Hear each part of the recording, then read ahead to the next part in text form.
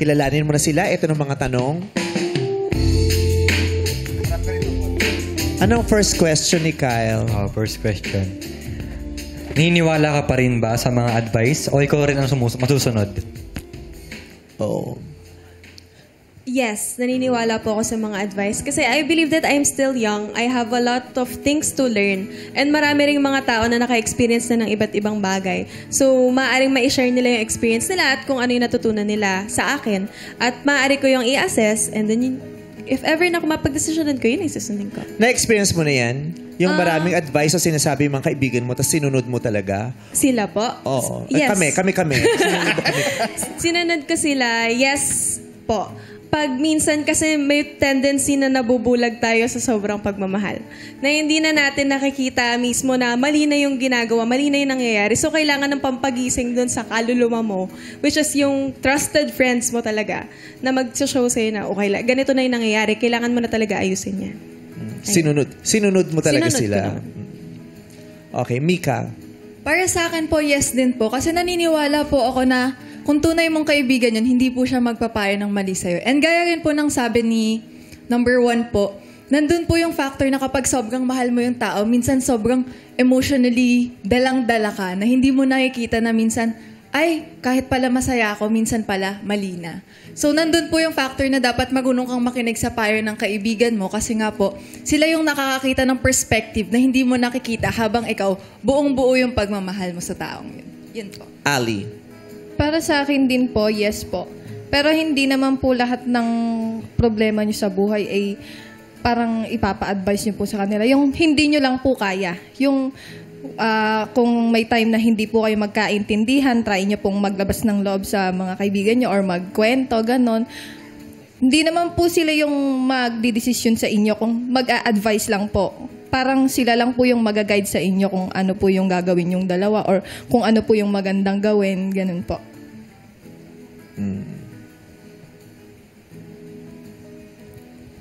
Bakit? Wala, hindi ako sa iniisip ko talaga yun. Sa totoong buhay ba, nakikinig ba talaga tayo? Hindi. Hindi. Diba? Talaga naman, lagi naman natin sinasabi yun, dapat makinig tayo sa mga sinasabi. Kasi nakikita ng mga kaibigan natin yan, tayo, bulag tayo, di ba? Pero sa totoong buhay, kung ano ba talaga yung sinabi nila, pinakinggan natin o... Parang naglabas ka lang eh. Nakikinig tayo, pero Oo. hindi natin sinusunod. Oo. Sarili pa rin natin yung nasusunod. Tsaka meron kang gustong marinig sa kanila eh. Na hindi, na, di, mo- di mo naman nakukuha kasi nga, bulag ka nga doon sa sitwasyon ng Yung pagmamahal. gusto mo pa din. Oo, yung gusto mo pa rin. 'Di ba? Kaya ang tanong ko, in reality, na-experience niyo ba yan? Pero si Ria sabi niya, sinunod niya daw yung mga kaibigan niya. Tama. Kasi kami nila, si ni Ems, hindi kami sumusunod sa isa't isa. eh. Oo. Di ba? Oo, yes. Lalo na, naalala mo yung nasa yate-yate pa. Oo. Yung, kahit ang haba ng chikahan, kinig ka lang na, pero hindi ka na, di ba? Pakikinig Hindi- Ang eh, ikaw pa din eh. Kung Ikaw ano, ang magdidesisyon. Nakiki, ano lang tayo. Listen, listen lang. Gusto mo lang ng Tumama. kausap. Yes. Oo. O yung kakampi. O, di Yes. ba? O, Lalawas ka lang ng... Tapos gusto mo lang malaman kung Anong opinion papay, nila? uh, ay, yung kung sasang-ayon sila sa Oo, opinion mo, correct. yung ganun. Tapos pag, pag hindi sumang-ayon, ang haba ng chikahan. eh, ano, paglalaban mo yung stand mo. Oo. Mm-mm. yung ganun. Eh, importante rin kasi minsan yung, lalo na pag naguguluhan ka, naguguluhan yung utak mo, hindi ka makapag-desisyon, tapos parang gusto mong ma gusto mong ma-validate kung tama ba itong gagawin kong desisyon. Gusto ko marinig sa ibang tao kung tama Yung ba. point Parang of ganun eh. view Oo. din ng ibang tao. Kaya minsan galit pa sa embarkado mo, parang timang to. Hingi ka advice sa amin, tapos di mo naman susundin. Ikaw pa rin nasunod. Oo. Yung ganun. So, Kyle, sinong bibigyan mo ng green flag? Uh, bigyan ko po ng green flag is yung searchy number one po. Si Ria. Opo. Ria, congrats sa'yo. May green flag ka na. Algina, anong masasabi mo sa desisyon ni Kyle? Ah, okay naman po kasi halos naman po lahat sila is pare-pares ng sagot. Pero yung pinakaswak naman po, para po sa akin po, si Ali po. Ay. Si Ali, sayang. Pero, oo. Si, pero ang pinili ni Kyle ay si Ria. Congrats, Ria. Next question, please. Uh, dapat bang pinag-uusapan na expectation o dapat aware na kayo? Ayun. Dapat ba pinag-uusapan niyo yung expectations niyo sa isa't isa o dapat aware kayo kahit hindi sinasabi? Ali, number three. Um, para po sa akin, mas maganda po yung pinag-uusapan niyo po yung expectation niyo sa sarili niyo. For me lang po, Sa isa't isa, yung ine-expect mo mula sa jowa mo at pwede Apo. niyang expect sa'yo. Apo.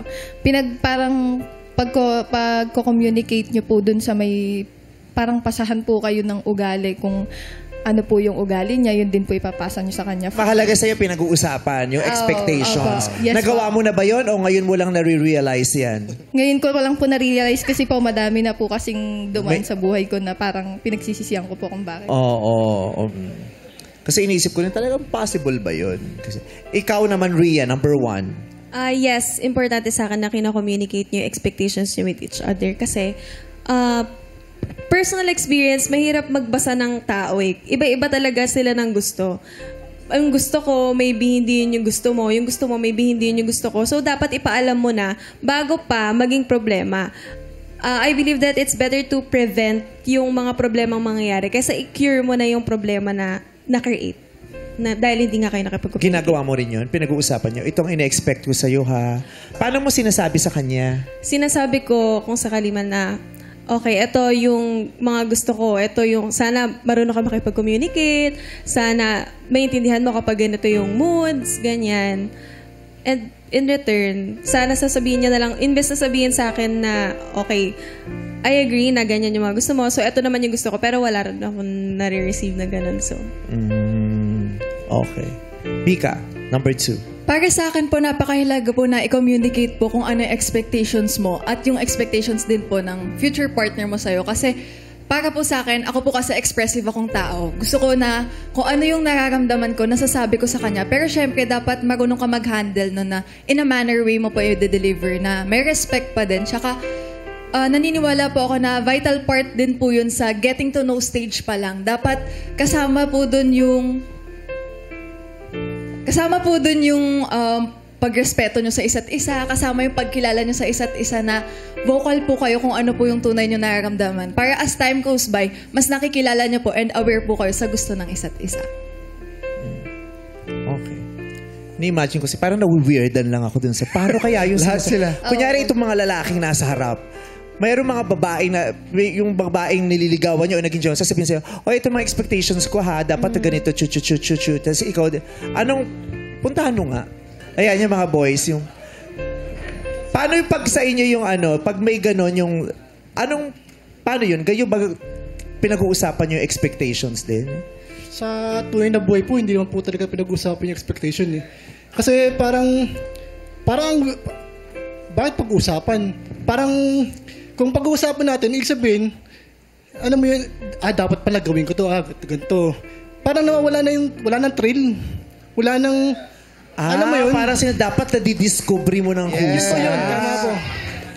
Kasi parang, ibig sabihin, kung malaman ko na ganito expectation, expectation mo, dapat pala, targetin ko, to, targetin ko yung bagay na nga, dapat gawin ko to. Sabi niya nga, sabi eh. parang kontrata daw. So Opo, parang ganun po. kontrata ba yun pag ano? Parang ganyan po yung aking pagkaka... So pag sa inyo parang off na ina- nila pag-uusapan or nasa... Kasi at saka paano nga yung pinag-uusapan? Hindi naman po siya off, pero parang hindi po siya karaniwan para sa isang relasyon sa tuwing na buhay. Parang ganyan. no. Oo. Ma- madali lang siyang sabihin actually. eh, na Madali dapat lang pinag- sabihin. masyado siyang ideal. Correct. Yes. Pero yung ideal sa realistic, Hindi nangyayari.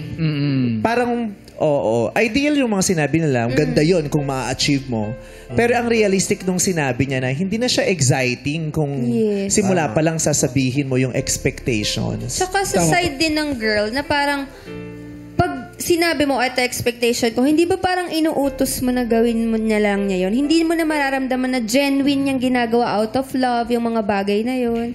'Di ba? Parang mas masarap kung hindi mo sinabi pero ginawa niya, mas ma-appreciate mo na, ah, mahal niya nga ako, ginagawa niya. At saka to." yung journey to discovery. Yun. Yes. Kasi Yeah. yung nadi-discover mo. Okay. Pero sa amin yun, sa, atin, Yeah, sa atin yun. oo. Di ba? Pero sa Wala Pero sa kanila. Mm-mm. pag-uusapan daw nila yung ganun. Thank you. Po. Thank you. Maganda yung sinabi niya din na parang POV ng lalaki. Yes. Di ba? POV ng lalaki. Wala nang excitement. Si Ali ba ay nakasagot na? Yes, Nakasagot, na nakasagot lahat. na, oo. Yeah, everybody. Ikaw, Kyle, anong pananaw mo doon? Ayun po, ah, sa katulad po nung sinabi ni Kuya na dapat mas dinidiscover mo kasi wala na pong, hindi na po mabubuo yung love doon kung alam mo na yung expectation niya. So parang hatataasan mo yung standards mo kung ganun. So mas maganda po kung ano, kung di po inaalam yung expectation. Kaya nga may getting to know, mayroong... Kalo ko kakanta kami, Getting to Know You. Getting to know all about. Diba? Kaya nga minsan kinikilala mo rin yung pamilya para makita mo kung ano ba yung capacity ng tao. Yan din na napapansin ko sa mga bagets ngayon. Hindi ko nilalahat ah. Yung masyadong latag na latag. Yung do's and don'ts. Greens and reds.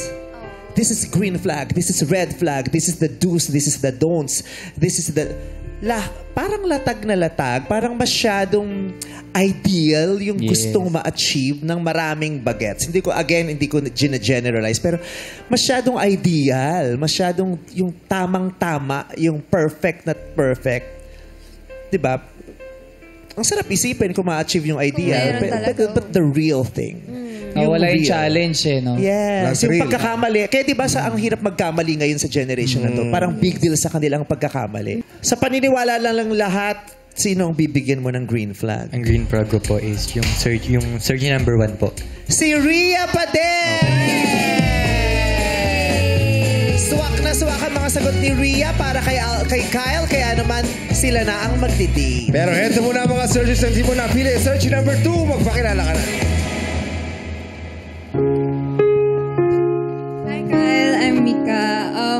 Gusto ko lang sabihin sa'yo, sana mahanap mo ng love language na tatapat para sa'yo and sana mas maging masaya kayo.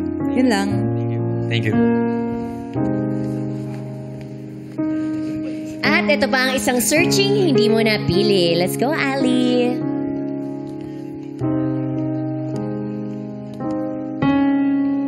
Hello. Hi Kyle, I'm Ali. Ang masasabi ko lang sa'yo ay um, I hope uh, I hope you get what you love and you get what you need. Thank you, thank you. Bakit, Madlang People? Thank you.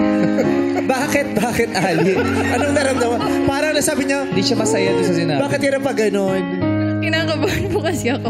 Okay lang. Ang ganda-ganda ni Ali ng malapitan. Yes! Oo. Thank you Ang ganda po. mo ng malapitan. Na may ex ka ba? Meron po. O, sumali ka dito, ha? Wala po kaming connection. Ako nang bahala, gagawa tayo ng ano. Kami nang bahalang kumonta. Dito na lang kayo magkikita. Ganda niya. Thank you Para po. siyang si Lara Morena. Yes! Yes. Oo, na may Thank you Herman so much Morena po. rin. Thank you, Ali. Ayan.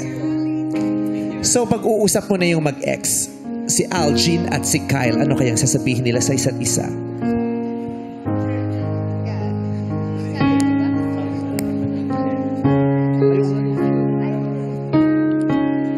Hi Kyle, um, thank you sa 11 months and sobrang tinatreasure ko yun.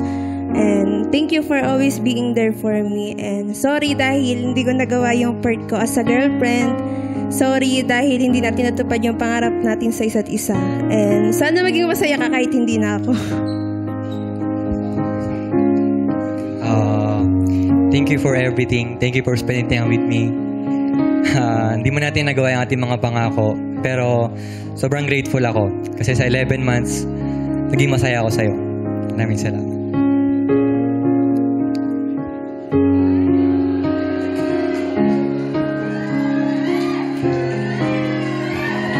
Thank you, thank you. May sasabihin ka ba kay Ria?